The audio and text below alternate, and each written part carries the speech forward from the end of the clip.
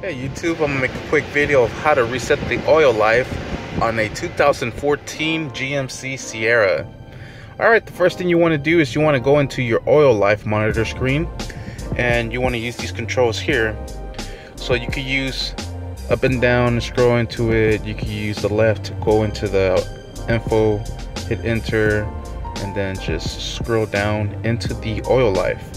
Now what you're gonna do is go ahead and press on the right button and there it's gonna give you an option for reset.